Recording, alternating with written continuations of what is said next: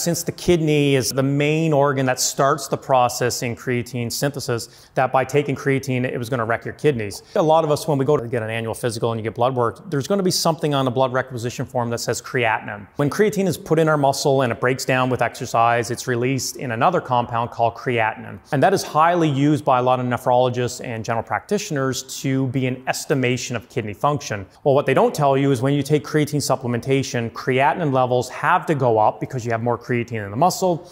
And unfortunately, from a medical practice standpoint, if you have more creatinine in the bloodstream, that's an indication that your kidneys are not filtering it like they should. And so the theory was there, but the problem is when you stop taking creatine, creatinine levels go back to normal. Obviously, your kidneys were not impaired with functionality. It was just a byproduct of creatine metabolism. And when you look at study after study, there's no effect compared to placebo on creatine causing kidney, liver, or any other type of renal abnormality.